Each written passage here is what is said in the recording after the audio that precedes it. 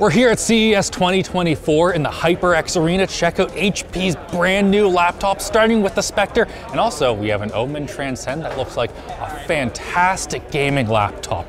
This thing right here, though, man, I don't know if you guys remember what the old Spectre looked like, but it had diamond cut edges all the way along the side that were, for one, sharp. I don't like sharp laptops, and also they just look kind of, I don't know, it wasn't good, it wasn't bad, but it was certainly a vibe. And this one right here, I really like the way that they've rounded it off. It feels great to just hold like this, but they have maintained that little diamond edged corner right here. So if you look at the IO, we have Thunderbolt 4, another Thunderbolt 4 that's at a 45 degree angle. They say that's great, so you can have your, you know, your charger going off to the side instead of directly into your mouse. Then on the other side, 3.5 millimeter headphone jack and USB type A.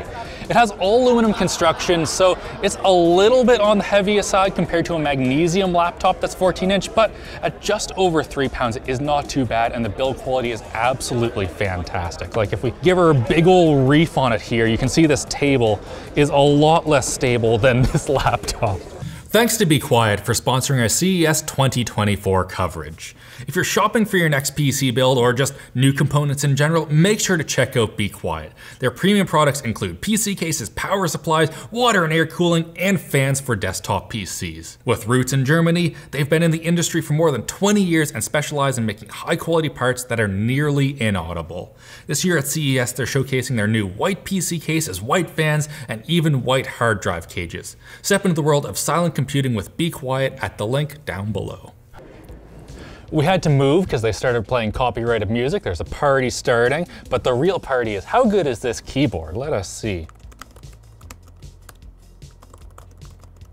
It is awesome. I would give it an easy A. It doesn't quite get the A plus that the Dragonfly has, but you know, when you're making one of the best laptops, yeah, not an A+, plus, but a solid A, which is better than most. What we also have here is a new haptic touchpad. So this right here is using little force sensors and piezo's so that when you press on it, instead of it actually clicking, it's vibrating and giving you a little tactile bit. Now it doesn't feel quite like how I would want it, but the wonderful thing about haptic touchpads, look at this. I can go right down in here, change the intensity, and now there we go, I like it about right there. So that's what I love about these force touchpads. You can sort of adjust how much force it takes to actuate it and just tune it to how you like. Love it. Also, what I love, this display, it is 2.8K, 120 hertz, but it goes down to 48 in order to save you battery life, and it just looks fantastic. Did I mention that it's OLED? Because you would not be mistaking that for something else. Look, look at those blacks. They say it has up to 400 nit peak brightness, which is not the brightest that we've seen, but at the same time, with that contrast of the OLED, man, does it ever look good. Also, it's a little 14 inch laptop with 120 hertz display. I absolutely love that laptops, even like the more professional ones, are starting to get high refresh rate. And also, you can do that if you want. I don't, but you can. Now to get into the Spectre, you can use either a fingerprint up on the power button right here, best spot to have that, or Windows Hello facial recognition up top. And that is attached to an excellent webcam. So this thing right here is nine megapixels in a webcam. All right, how is this webcam? Wow, this is a challenging environment bunch of direct lights. But if I move around here, wow, that that is sharp. You can see that my hair is kind of being a bit strange. Normally you can't do that with a webcam. And it is so good exposing for my face. Look at Andy. He's got the super bright light right here, but we can also still see detail in the black areas, and it is always exposing for my face. Excellent job, HP. Oh, one of my favorite things to do at CES is to ask if I can take it apart. Everyone always says no, and then you ask a couple more times and then you get to take it apart. Four T5 screws later, and we can get into this thing right here, and see their cooling solution. So we have two fans, two heat pipes. We have up to an Intel Ultra 7 155H, and also we have up to 32 gigabytes of RAM at 7467 mega transfers per second. That unfortunately is soldered right here, but you also cannot get those kind of speeds with SODIMMs. Here we have a removable Wi-Fi card that's up to Wi-Fi 7 and a removable SSD so you can upgrade that in the future. Here we have our 68 watt hour battery, which is absolutely massive. Look at how much of the laptop that is taking up. And they say that it will get you up to 14 hours of battery life. And even though a lot of laptop manufacturers, I'm like, mm, HP is generally pretty good, but we will have to test in the lab to know for sure. If you want a larger battery though, and a lot more power, here is the new Spectre 16. This guy right here is essentially the same, except, well, larger, obviously. We have an HDMI 2.1 on the side, in addition to the rest of the I.O., which remains unchanged. And also, we have an up to an RTX 4050 in this thing. So I could see a lot of content creators being drawn towards this when maybe you're not so happy with what Dell's done with their most recent refreshes. Also here we have, look at the size of this trackpad. It's absolutely massive. Now, sadly, I don't know how many watts the 4050 in this will be able to consume, so I can't comment on just how powerful this will be, but at the same time, if you're looking at this, you're probably not looking for the most powerful laptop. You just want something that's nice to go around. It's about four pounds, feels great. Trackpad again, look at this trackpad. And it also has all the other things that made the 14 fantastic. If you do want performance though, oh, oh, oh, we have the Omen Transcend 14. This is a whole new SKU. Everyone these days has a 14 inch gaming laptop. And this right here, in my opinion, is one of the best. One thing that's kind of strange about it is that around back, we do all of the power delivery over USB-C. So it comes with a 140 watt USB-C charger and the rest of the I.O is pretty good. Around this side, they have two USB type A's to make sure that the cord of your mouse goes just directly into it while you're gaming. Around back, USB-C with power delivery and display out, although I could not confirm if this is wired up for NVIDIA Optimus. HDMI 2.1, Thunderbolt 4, and 3.5 millimeter headphone jack.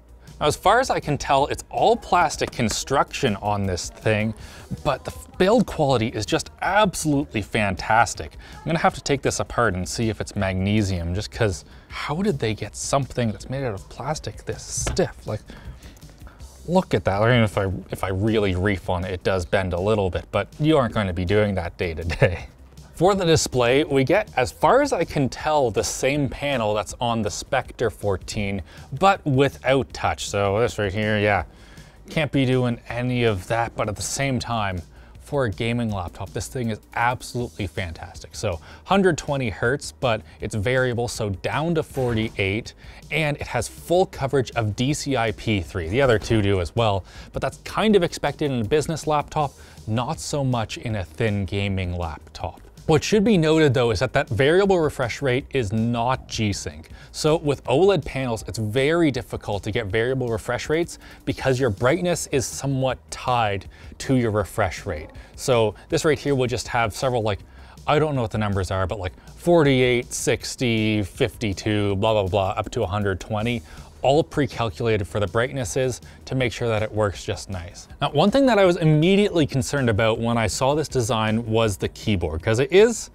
a little bit weird, just like how they include McAfee on their devices.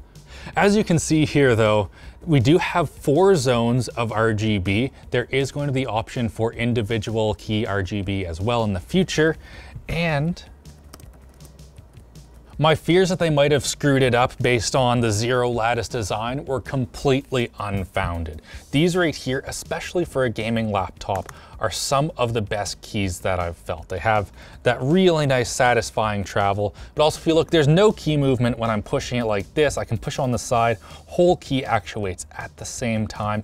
It feels actually fantastic. This right here is one of the rare gaming laptops where I would like it for both typing and gaming. It, it's maybe even a little bit stiff for gaming, but I really like typing on my gaming laptops. For performance, we get up to an Intel Ultra 9 185H and an RTX 4070 with up to 80 watts dedicated to the GPU with 15 watts of dynamic boost. HP does claim that this is going to be the best cooled 14-inch laptop, which I'm sure is something Asus will be very pleased to hear. Four Phillips head screws later, and we are in it. Oh, wow.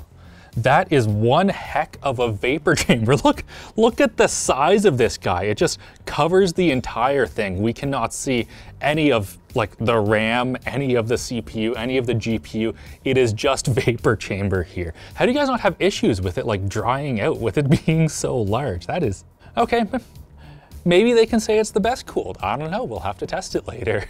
Also in here, we can see that we have our SSD, which is removable. Like to see that and a 71 watt hour battery that they claim is good for up to 11 hours away from the wall, which in a gaming laptop like this means that you can kind of just daily drive this thing for all of your needs and then just be able to game after instead of a lot of gaming laptops where it's like, you can game and everything else is pretty bad. The Omen Transcend 14 is expected to start at $2,000. The Spectre 14 $14.99. We're not totally sure about the 16 yet, and they're all available now, so you can, you can just do it. Just like I can do the end of this video. Thank you for watching, hit like, get subscribed, and just have a great old day, and maybe, you know, look at some vapor chambers.